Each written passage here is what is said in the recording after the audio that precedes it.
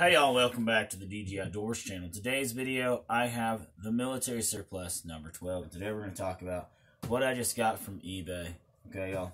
I've got the Gen 3 um, OCP camo pants in multi-cam, guys. Now these are medium regular, and there's a little bit of difference between the original, um, you know, multi-cam pants that I had were a um, the UCP uniform or the Universal Camo Pattern uniform. Same exact thing. They were super thin and trash, and I paid five bucks for them at a thrift shop with the jacket that I showed you guys yesterday.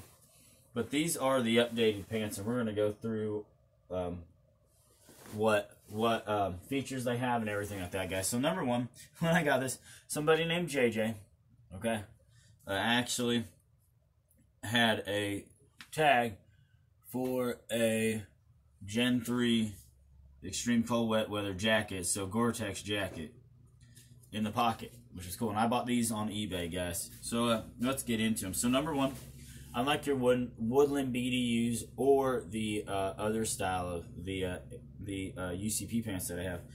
Guys, number one, these do not have a string, okay, inside to tighten them up without a belt, like the UCP pants did. And they don't have like little pull tabs to, um, you know, tighten these things up around you, uh, like my Woodland BDUs do.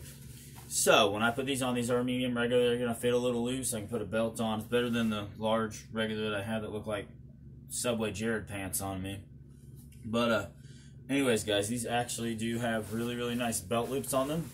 Okay, really nice belt loops. Um, it still has the traditional five button fly on there. Five button fly right there, guys. Um, everybody loves this camo pattern pretty much as far as I can tell in the military. They really like it. Um, nice, nice side pockets here. Okay. Um, really, really nice cargo pockets on the side. No Velcro. These have no Velcro whatsoever. They switch back over to buttons on these things. Okay. When I bought these on the line, they uh, they said U.S. Air Force OCP operational camo pattern or whatever they call it. But looking in at the tag, it actually says Army Combat Uniform unisex. So this is actually made for a man or a woman. So there's no difference. Um, which is cool because then they ain't got to make different cuts for men versus women. Uh, lot number 333 there. Okay. Um, okay. So another feature that's different. Um, these do have double, um, like reinforced knees here, but no Velcro. So, you know, they're just sewn together. So you can't put, you have to put your knee pads over your pants. Does have the, the ties at the bottom there to cinch it up around your boots and everything.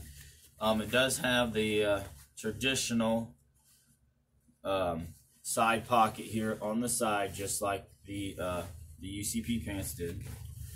Okay. Um, on the back, you've got two two butt pockets here. Again, re double reinforced butt, nice stitching. Um, one thing that these things are missing, what? The little rip cord thing, the bungee cord on the old pants. These do not have these, but these are super nice, super comfortable, rip stop material okay? Um and just super nice. Uh the other things i have in ocp or multicam are the um one of the warm weather um, combat shirts.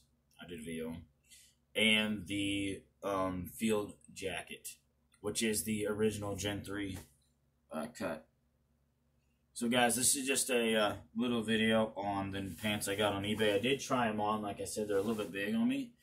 But, I mean, I wear of them and they're going to fit really, really well. So if you guys want to try these out, I picked them up from uh, uh, just eBay. I was looking. I always look for the cheapest, um, you know, pants that I can get for a good deal. Um, and I would rather go to eBay than Amazon. Um, I've got some stuff coming from Wish when it finally gets here that I want to do a review on for you guys. That I think you guys will be surprised on what you can actually find on Wish if you know what you're looking for. That's decent quality for a decent price. So, um, y'all, I'm gonna get out of here. Probably film another review here in a little bit after this one loads up. So remember, like, comment, subscribe. Jesus loves you, and I will see you guys on the next one. Thanks for watching.